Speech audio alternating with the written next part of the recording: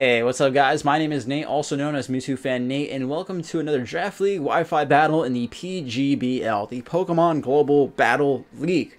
Now, this is a playoff game. This this game just it determines if we get to move on and have our chance at winning a championship, or if we just get kicked out right here, right now. So there's a lot on this game, um, and since it, there's uh, this could be the end of the New York Noibats in the PGBL. I just want to ask you guys, what was your favorite Pokemon that I that of my entire draft? So, uh, if you guys didn't didn't you know if you're just watching this now, um, there's a link, there's a playlist link uh, in the description of all the PGBL battles that we had this season. So make sure you guys go check them out. You guys can see the whole roster. After you look through all the Pokemon, come back to this video and let me know what was your favorite pick. Now, we did battle Viz already in the regular season, and I kind of figured that it would come down to us having uh, a game in the playoffs. So I, I kind of wanted to meme a little bit against him the first time, and I brought like a weakness policy, um, rock polish Diancie against him, and it was, it was a fun game. You know, I kind of got smacked around a little bit, but it was all for memes, and I, I kind of didn't want to reveal some some better sets that I kind of wanted to use. So uh, so here we are battling Viz again, and he did change up his team. Uh, the last time he brought a Decidueye that had Tailwind and Life Orb, and it kind of bodied my whole team. This time he brought Swellow, and I didn't expect him to bring Swellow just because, in my opinion, Swellow didn't have like the best matchup between me having a Bronzong, Diancie, and a Tapu Koko. Just in my head, it was like, why would you bring that against me? I don't know. But either way, I think that uh, I have like a pretty good team this time around. Uh, I have a Babiri Diancie, which is meant to live any kind of steel move, and then I can kind of just get my rocks for free. And then I have a Toxic Orb, Facade, Zangoose, which just hits incredibly hard. We have a mixed uh, offensive Latias with Berry, I believe it is. So that way, that was meant for the um, Decidueye there, since it kind of bodied me last time. The um, and it also has Earthquake for the Heatran. Not that it's really uh, super duper important. The the uh, Tsareena is Choice Scarf. The Tapu Koko is bulky with Shuca Berry, and our Tornadus uh, is misgened. And uh, and it's not that it's misgen, but I forgot to change it. I was supposed to change it to Tailwind last minute, but I forgot to do it, and I didn't want to make Viz wait any longer. So it has Icy Wind this game. And um, without further ado, I'm just gonna get into the game now. I kind of figured that he would want to start off with um, either Train or the Gliscor as one of his Stealth Rock setters. So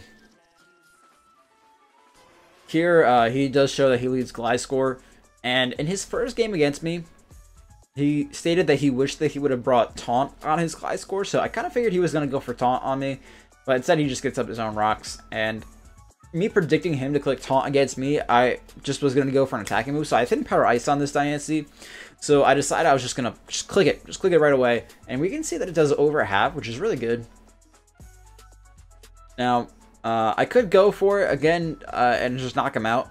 But I figured that I didn't want to um, potentially lose getting up uh, Stealth Rocks against this team. Because Stealth Rocks were really important for things like the Swellow. Uh, and I wanted to make sure that uh, we we had we we were able to get those up because if something came in like Rotom, and then maybe it would show leftovers. I, I thought that was important, so uh, we got up our rocks, and he actually shows Protect here. And now there was a little voice inside my head, it just speaking into my ears, and I was just thinking that and they were just telling me that he's probably not gonna have U-turn because you have protect. Like, why would you have protect and U-turn? Um, that there was maybe something missing. Uh, and he has U-turn. so I kind of switched in my Latias, predicting him to only really have um, Earthquake and maybe like maybe Toxic or something instead. But uh, now, nope, nope. He he U-turns and he goes out into Mega Gallade, and now my Gallade is not max. I mean, my my Latias is not max speed like his Gallade probably is. So he's definitely going to be able to outspeed me and uh, just hurt something on my team.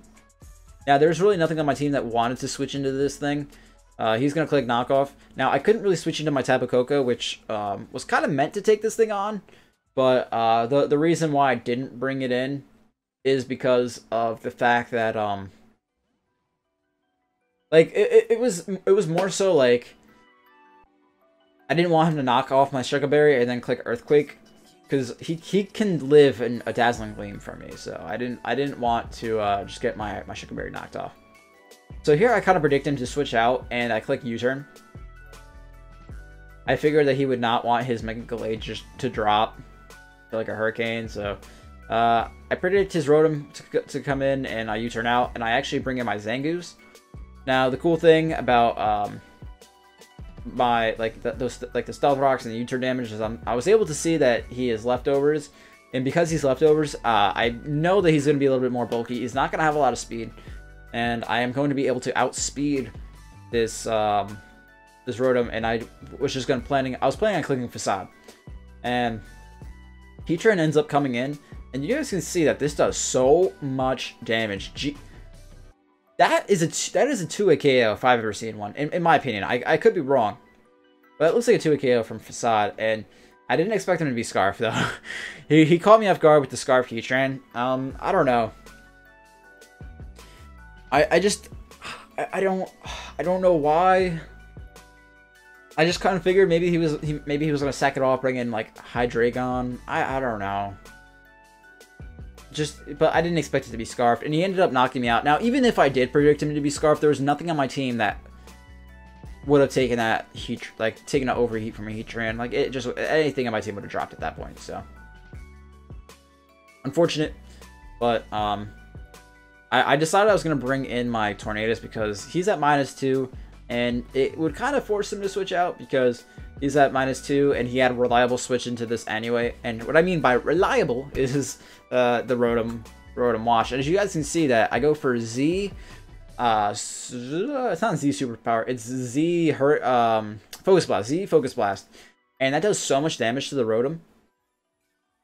And it brings him down to like maybe like 25%, 15%, something 20, 20, 20, 15, I don't know. And that just puts it at a range where, range where I can click U-turn and knock it out. So it's good for me. And I'm gonna think about who I want to go into here. And I figured that Tapu Koko just outsped most of everything on his team and had a pretty good matchup. Uh, bar the Heatran because it's Choice Scarfed. Even if it wasn't, like, I mean, if it was, like, like I figured that it would have threatened it out, like, at least, you know what I mean? Because after Stealth Rocks, it, it puts it into range where I could do hurtful things to it. So, we are able to uh, tank that a little bit. Go for a Volt Switch, knock that boy out. the Heatwan. Heatwan goes down. And uh, we're going to bring back our Tapu Koko, and I have to bring in Brad again. Now here, he's going to bring out his Oof, which is his Swellow, and Swellow takes rocks, which is really, really good. And now he's going to knock me out with Facade. And that just kind of confirmed my worst fear. Because he's physical, meaning that he's not special because um, Boomburst, Specs Boom Burst, I have a chance to live with my um, Tsareena. And uh, I can't live with Brave Bird though. So I ended up bringing in my Diancie here because I figured it would kind of scare him out. Like, and, and here, Maybe, maybe it was a misplay. Maybe this was a misplay. I click Moonblast instead of Hidden Power Ice. And it kind of lets my Diancie drop. I just, I didn't want him to bring in the, the Gallade, you know what I mean? Like, rock type move. Oh, I'm a, I'm a fighting type. I resist that. Like, I just, I don't know. So, I just go for Moonblast. It was pretty, like, a neutral play. Uh, he's able to knock out my, my Diancie there. I didn't really have anything else to, to take that. Like I could have predict, predicted him to go for Earthquake and switched into my um my Tsareena. But the thing is though, like Tsareena, like I didn't want it to click I didn't want him to click U-turn and then just get momentum on me. Like it just would it would have been a bad look. So here I kind of figured maybe he would go for maybe he'd go for U-turn, maybe maybe if even if he did click Earthquake, uh, because of my Shuca Berry, maybe I'll end up at a higher amount of health than I was at. So I do click the, the Roost there, and after the Shuca Berry, I do get up to a little bit more health than what I was at than when I originally first came in and took the rocks damage. So it's not that bad. Uh, and I, I click Hidden Power Ice, and we are going to be able to knock out the Yoink, the Gliscor. So Gliscor goes down, and out comes the, the Datara, which is the Hydreigon. And Hydreigon, uh, since he brought it that way, I kind of know it's Choice Scarf. And it was Choice Scarf last time, so it just makes it just made sense against my team. Now here, I, I was kind of hoping that maybe he'll go for Fire Blast and miss uh, a couple times. Like, that was just like my only hope. But instead he actually clicks clicks Flash Cannon, or maybe that he was going to um, click Earth Power. Like, that was like the two things I was predicting. So, uh, you guys can see that doesn't do over half to me, and I'm actually able to take another one. And I do have um, high jump kick, which actually could have knocked him out, especially after rocks, but we miss. We miss. And I'll tell you guys why that is so important. And it's important because um, after the match, I found out that my Choice Scarf Tsareena and his Swellow speed tie. And had I just knocked out that Hydreigon with high jump kick, sacked off my Tapu Koko to the um to the Mega Gallade, brought in the Tsareena again, and I just could have clicked Power Whip, killed the Mega, uh, Mega and then potentially won a speed tie with the Swellow, click Power Whip, and knock that thing out. That would have been a game. That would have been the game, and I would have won. Now, uh, I'm not salty at all. Like, I'm actually, like, I thought I played pretty well. Um, I think that uh, I definitely could have played better. Definitely could have prepped a little bit better, but overall, it was a close game. There was a chance that I could have won, but that's just how Pokemon works. That's just, um, you know, it's it's not that bad. And I think I do think that the the better player won this time around. I don't think, um, I think I think Viz is a lot better than I am as far as battling goes. Um, now, I just want to say thank you, thank you to you guys for watching, uh, and thank you to Viz for the nice uh, battle. I hope you go and you win this thing. I hope you beat whoever won their battle, and hopefully you beat that person and you, you go and you take the whole thing, dude. Because uh, I think, I, I, honestly think I I think you had the best team in this whole league. Um, at least in my opinion, I I thought your core between Teacher and Gliscor was disgusting, and I think you deserved it. So um, thank you guys so much for watching. And I hope to see you guys all later. And uh, that'll be it. All right, bye-bye.